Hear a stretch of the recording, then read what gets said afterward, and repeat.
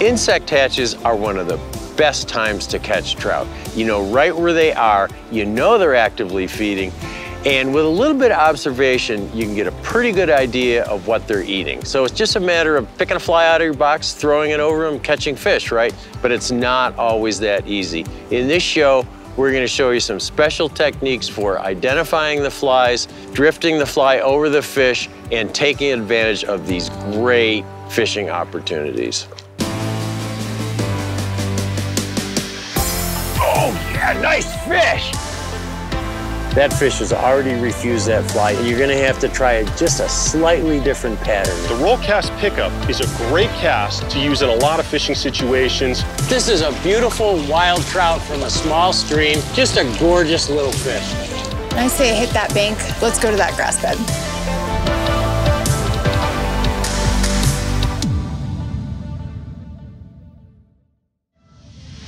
The Orvis Guide to Fly Fishing is supported by Orvis Fly Fishing, Yellowstone Teton Territory, Crazy Rainbow Ranch, Adipose Boatworks, Global Rescue, Trout Unlimited, Oskar Blues Brewery. There are four major groups of trout stream insects that hatch in or near the water. You don't need to be able to identify them that closely. Entomology has scared more people away from fly fishing than anything except knots. But it does help to identify the insects into their broad groups or orders because each one has a different life cycle, and trout don't always respond to every stage of their life. The most important trout stream insects are mayflies, caddisflies, stoneflies, and midges.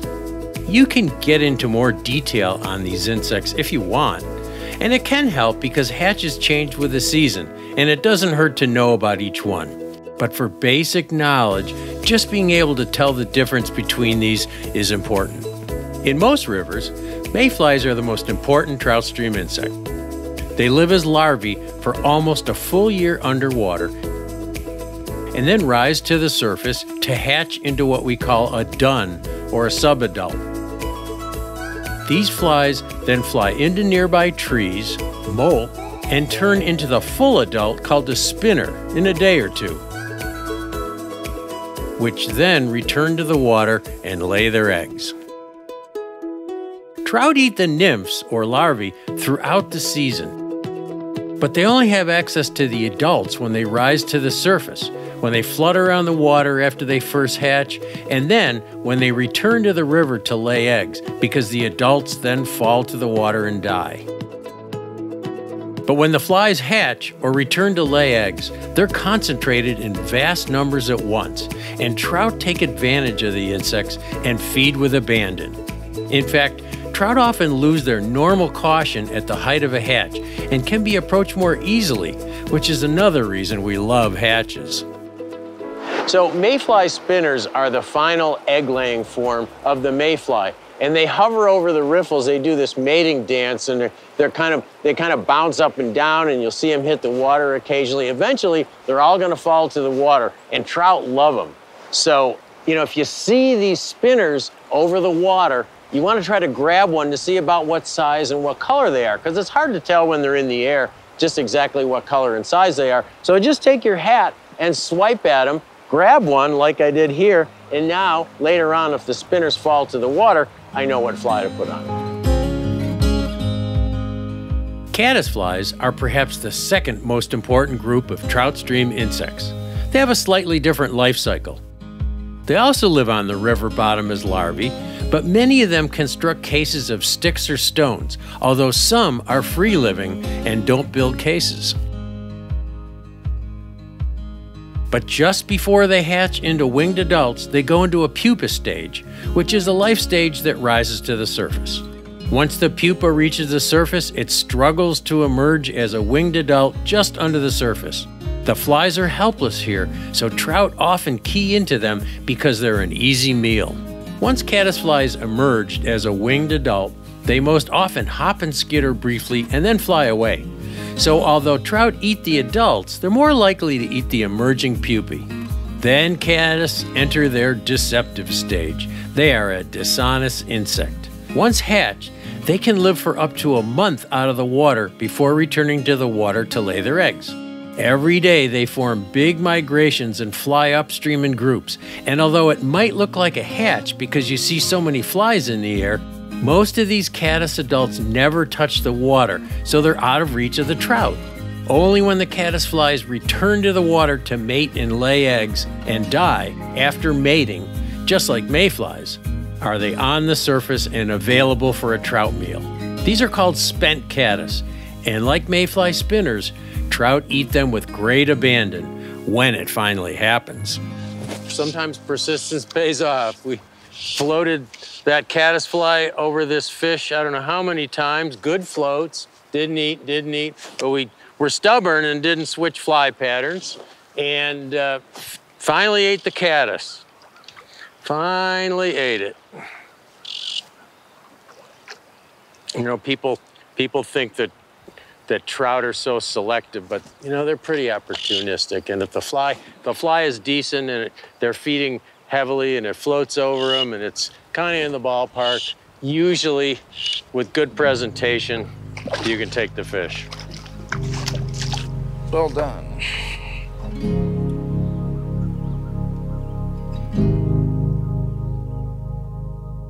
Stoneflies have yet a different life cycle and behavior. Like the other two, they have a larval stage underwater, but they don't hatch on the water's surface like mayflies and caddisflies. These insects crawl to streamside rocks and vegetation and hatch into adults out of the water on the bank, so the adults are not available as often to the trout. However, stonefly adults are clumsy flyers and they often get blown into the water by the wind or they fall on the surface and are also available to trout when they return to the water to lay eggs. Midges are so small that they might seem insignificant, but they can be an important source of trout food. In fact, in tailwater rivers below dams, they can be the primary source of trout food. And if you fish these rivers, you better pay attention to midges. Midges start life as a worm like larva that trout eat in great quantities. Like caddisflies, they have a pupa stage, which is readily spotted by the trout near the surface and easy to capture. And like caddisflies, midges fly away quickly once they sprout their wings. But trout do eat the adults as well, especially when it's really cold or windy and the flies have trouble taking off.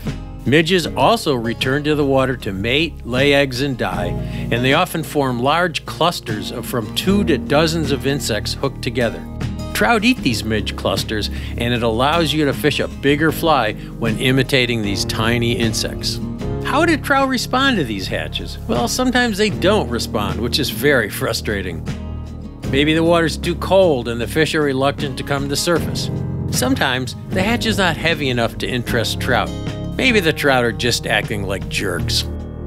But when they do respond, trout first begin to eat the nymphs close to the bottom as the insects get active before their migration to the surface. This is a good time to fish a nymph. Then, as the insects begin to drift in the current, as they rise to the surface, trout begin to intercept them more in midwater and will feed closer to the surface. Finally, the fish will feed at all levels or may even concentrate mostly on insects trapped at the surface. This is the height of the hatch, when fish feed most actively and gives you some of the best fishing because they lose most of their caution in their eagerness to feed. When insects first reach the surface, they have two problems. First, the meniscus represents a physical barrier to the insects. And also at this point, they need to emerge from their larval skin and hatch into a winged adult. This can happen quickly or it can take minutes. Trout know these struggling insects are easy pickings, and they seem to prefer them in this stage, which we call an emerger. Once the winged adults have emerged, sometimes they ride the water for a long time, especially if it's cold or rainy. On dry, sunny days, the insects may fly away almost immediately. The longer an insect rides the water, the more likely it is that a trout will feed on the adult. Then, Once insects return to the water to mate and lay eggs, typically in large groups, trout wait for the dead and dying flies lying spent in the water to wash down where they can be eaten. If just one insect is hatching, the puzzle's not that hard to figure out. However, if more than one insect is hatching at the same time, you should try to figure out which one the trout prefer. You can try to observe which one they are eating by watching fish rise, trying to determine which insect disappears in the rise. But that's often difficult, and it's not always easy to tell which stage the trout are taking. Are they eating the emerger just under the surface, or are they eating the fully emerged adult, or are they eating both? Sometimes trout eat all of them at all stages, but sometimes they get picky and prefer one type or one stage. If you observe the rise forms of the trout, though, you may pick up some clues. If a rise is very splashy, the fish is probably either taking emergers or eating a large fluttering insect. If there are no bubbles in the rise form, the trout is taking an emerger just under the surface. If there are bubbles in the rise form, the trout is taking flies off the surface because as they feed on the surface, they ingest air, which is then expelled through their gills. If the rise is subtle and just produces a ring, trout are usually taking small insects on the surface, mayfly spinners, or spent egg laying caddis.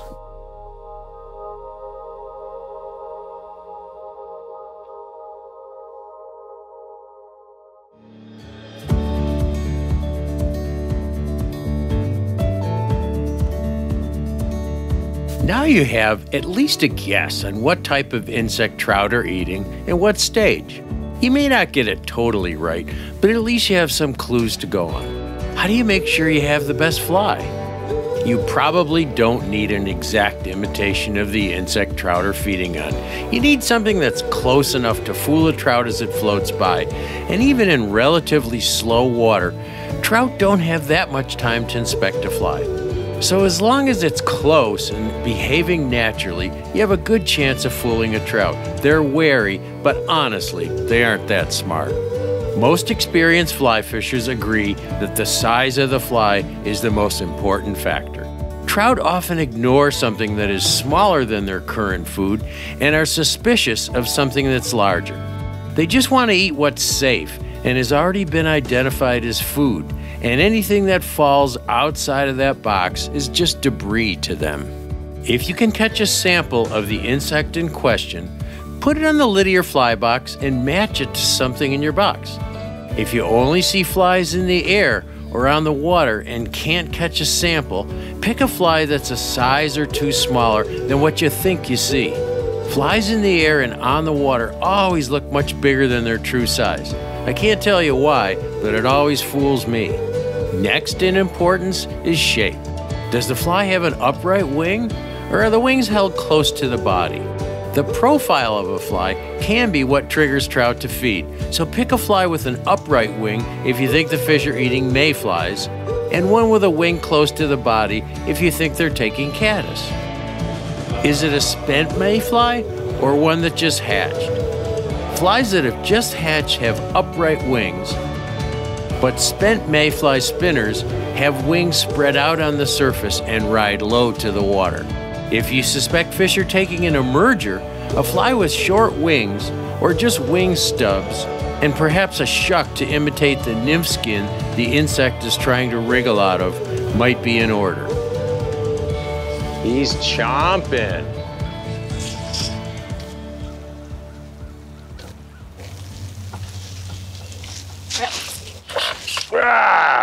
That's more like it. Get out of that moss. Get out of that moss. So we have had a lot of trouble catching these fish. They got really, really snotty. And um, what I did was I went to a longer tippet and a smaller fly. And sometimes that'll do the trick for you.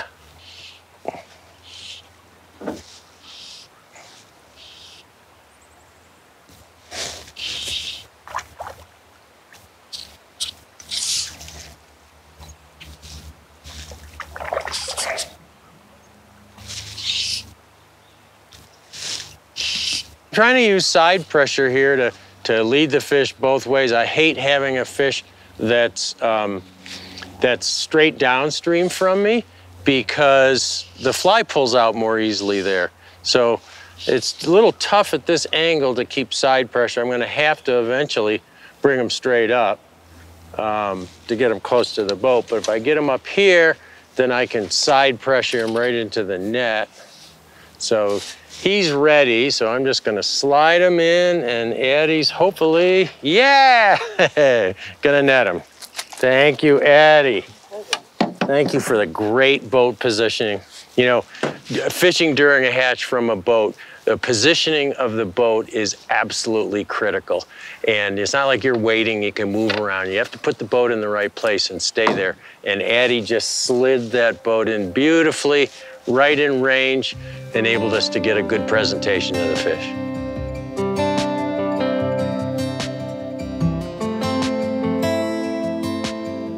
So Addie, how important do you think color is during a hatch?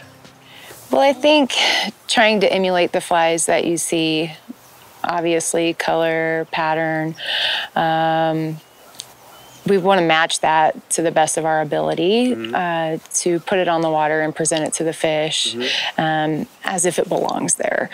Um, I don't think it's always important that it needs to be an exact color. Mm-hmm. You know, today we're throwing some stuff that has purple on it. Yeah, yeah, right. yeah. And, And so the flies are black. And the flies are black. So I don't think it's it's always a must, mm-hmm. but we want to be in the in the general area. I think to match the hatch. Uh-huh. Yeah. There's a dispute on how well fish can see color or whether it matters, and most guides will give you a similar answer to what Addie told me here.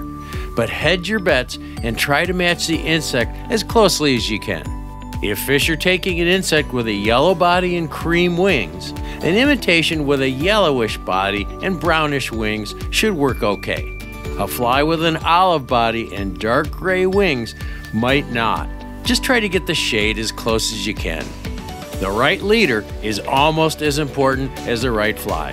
This is not that difficult, but when fishing hatches, with fish close to the surface, you want to ensure your fly lands with stealth.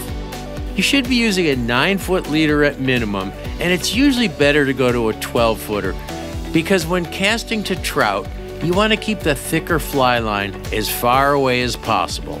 A fly line makes a much bigger splash than a leader. I would use the lightest tippet possible for the size fly you're using.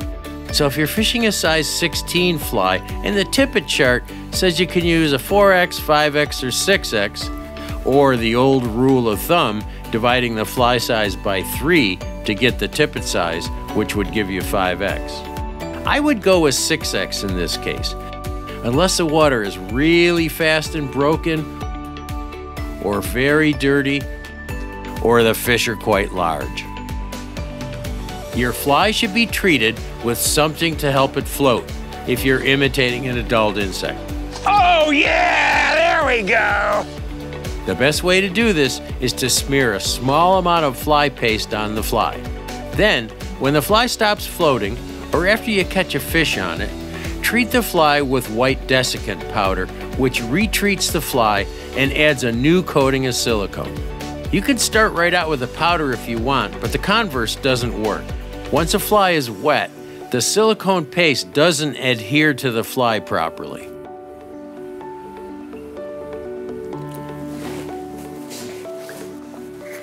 That fish was a real pain. There's a bunch of fish over here that have been very annoying and very hard to get, and they wouldn't take my dry fly. So what I did was I switched to an emerger, just hanging in the film, and that sometimes does the trick. There are a number of ways you can fish emergers. One is to just put no floatant or anything on it and throw it out there, let it sink a little bit below the surface, and you'll see the rise anyway. The fish will still make a swirl when it takes the emerger. Another way to do it is you can put floatant on an emerger because it's still going to ride low in the surface film. It doesn't have that bushy hackle or anything. Another way to do it is to grease your leader just an inch or two from the fly. The grease leader will float and the fly will just ride just under the surface and you'll see that leader twitch when a fish takes it. You got the right fly, you hope. and it's all ready to go on your leader. But before you hit the water, it's important to learn the reach cast. It's one of the best ways to get a natural drift during a hatch, and if you don't know how to do it, you're really not in the game. Let's go talk to casting instructor Pete Kutzer about how to properly do the reach cast. Hi, I'm Pete Kutzer with the Orvis Fly Fishing Schools. Today I want to talk to you about the reach cast and reach cast modifications. The reach cast is by far, I feel, the most important and useful tool when you're fishing any kind of moving water. This reach cast allows us to reposition the fly line so we get a nice drag-free drift. When we make a cast across the river, that line is the largest mass on the water and that current's gonna have the most effect on it. It's gonna push that line, giving us a belly. So we need to get that line upstream of that fly. A lot of us just mend, but the reach cast takes the place of that mend, and it actually sets you up for a better drift as soon as that fly lands. When I make a cast across the river, that line is going to get pushed by the current. You can see this belly forming. My fly is now dragging away from my target, and that's not good. If I make this cast and then make a mend, that mend can also pull that fly away from that target. So this reach cast is gonna allow our fly to land with a drag-free natural drift right away. To make this reach cast, we're gonna make our cast, but after we stop the rod, before our fly lands, we're gonna reach upstream and we're gonna let some line slide through our hands. If we hold on to this line when we make this slide, our fly comes back towards us and we lose our accuracy or we lose our distance. So we have to make sure when we make this cast that we let the line slide through our hands. That's gonna allow our fly to stay out there where that fish is. Now, a traditional reach cast, we make the cast, make that reach, our rod's down here low, we can come back, and now we start to follow that fly on down. We still have a relatively straight line to that fly. We can still have some varying currents that may affect that line. So what I like to do is a little bit of a modification to this reach cast. Rather than stopping my rod and lowering it down, I like to stop my rod and raise it up a little bit higher. That's gonna put less line on the water, giving you a little less drag, a little less belly, and a little bit of a longer natural drift. So I'm gonna make my cast, I'm gonna stop my rod high, sweep it high, and now I can follow that fly down with my rod a little bit higher.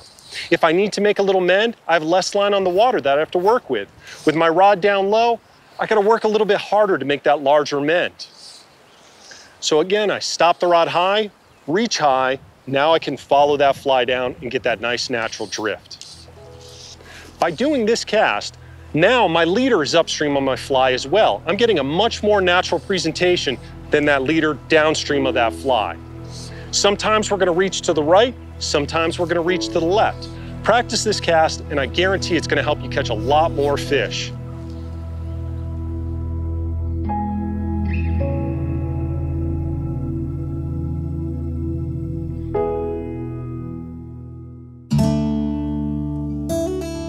The most important part of fishing a hatch is to float your fly over a trout in a natural manner without spooking the fish. There he is. All right. Good job. Okay, I don't think he's that big. By his head shakes, it's not a. It's not the big one. Huh? It's not the big one. No, no, it's not the big one. Not at all. Yeah, I'm sure I saw him. Okay. Nice one. Yeah. Nice one on a little dry fly.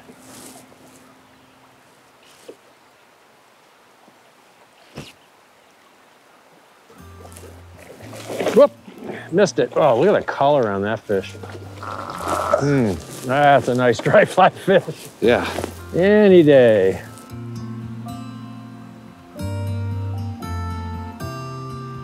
When you're fishing a hatch, it's important to have the right fly or a fly that's in the ballpark, but it's so important to get that drift just right. And on that cast, I made a little bit of a reach cast, a little upstream reach, and then I bumped the tip of the rod a little bit to throw a little bit more slack into that. The leader landed on the water with a little bit more slack. The fly floated naturally right over the fish, and he came up and took it confidently. Occasionally, moving a fly can work, but for the most part, you should try to eliminate drag so your fly floats along in the current at the exact same speed as the naturals. Sometimes this drag is obvious, but sometimes it's more subtle and not as easy to see from 30 feet away. You fish dry flies and emergers in exactly the same manner, dead drift. Getting the perfect float requires some planning before you make your first cast. Don't jump right in and flail away. Although some hatches only last for an hour, so you'll still do better if you take your time. First, pick a fish and watch its rise rhythm. If you have a choice of multiple fish, look for the one that's rising steadily. A trout that rises infrequently is much more difficult to catch than one that rises every few seconds and is preoccupied with feeding. And try to estimate the fish's cadence. How often does it rise? Try to pitch your fly over the fish just before you think the next rise will occur. They aren't always reliably predictable, but it's worth a try. Next, look at the currents between you and the fish. If you have to put your line and leader over multiple currents, the chance of the fly dragging is greatly increased as those currents yank the line and leader away from the fly.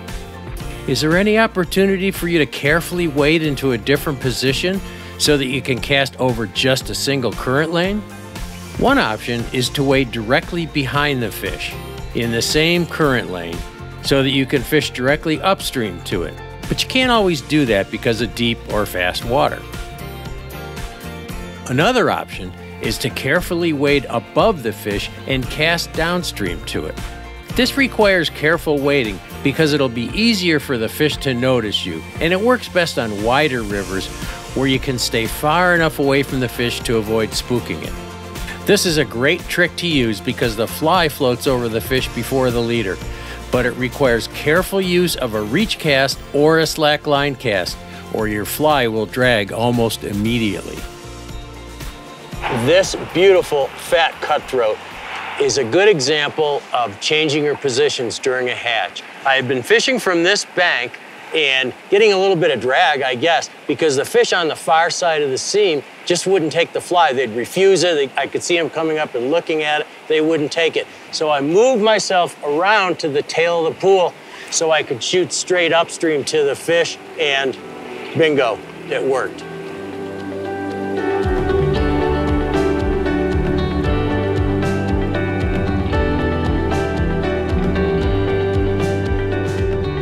So if a fish is steadily rising, making a nice sedate sipping, and you throw your fly out there and all of a sudden the fish takes the fly with a tremendous splash and you don't hook it, that's a refusal. That fish changed its mind at the last minute, closed its mouth, and its momentum made the splash.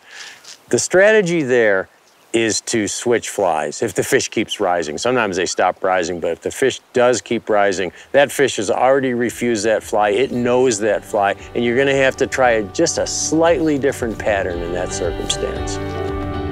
But not all refusals are splashy. Sometimes a trout will just bump the fly with its snout but never open its mouth, or it will swirl right next to the fly.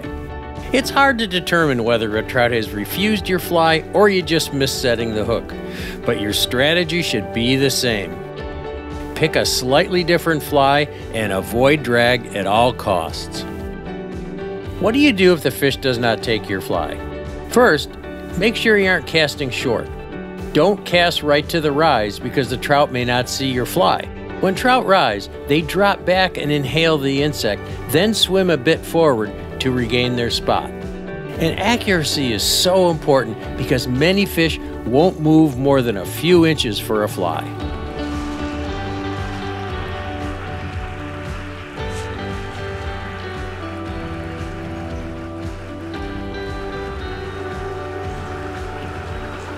What?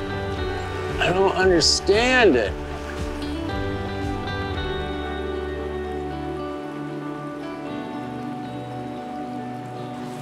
Are they not eating those big mayflies?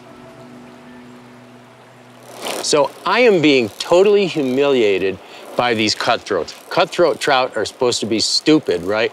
Well, these fish are not stupid, and I've put four different fly changes over the fish. I've tried my best presentations. It's just not working. So in a situation like that, during a hatch, one of the things you suspect is drag. So what I'm gonna do is put on a longer, lighter tippet. I had 4X on, I'm gonna go to 5X and I'm gonna put a pretty long tippet on. Hopefully I can get a better drift and I'll change flies too, just to make sure. It's so great when it all comes together. Fishing hatches is not always easy, but it's always an intellectual challenge, even though we're playing against a critter with a brain the size of an almond.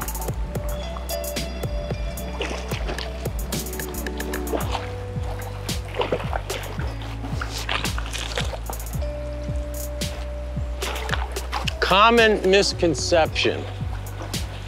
Cutthroat are stupid. Here, I'll, I'll get him in, Jeremy, sorry. Cutthroat are stupid and they don't fight. Well, we just disproved both of those things with this nice guy. Beautiful cutthroat.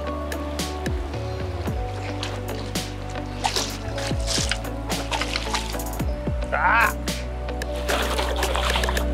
Wow.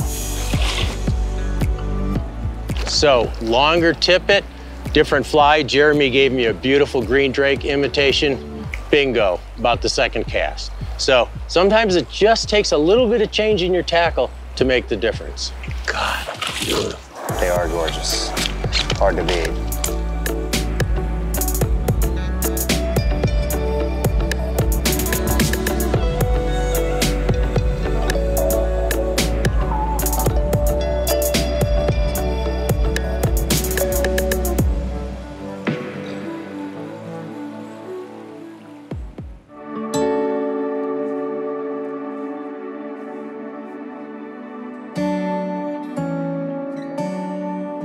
Hope you enjoyed the show. Fishing to hatches doesn't have to be that complicated, but you can take it to any level you want. That's the fun of fly fishing. But with a little bit of basic entomology, presentation skills, and observation, you'll have lots of fun during hatches.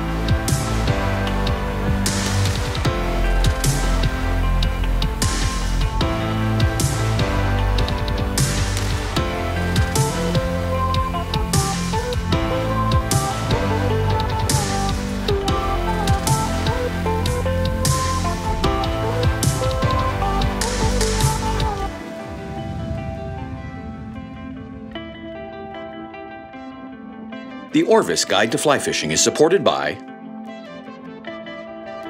Orvis Fly Fishing, Yellowstone Teton Territory, Crazy Rainbow Ranch, Adipose Boatworks, Global Rescue, Trout Unlimited, Oskar Blues Brewery.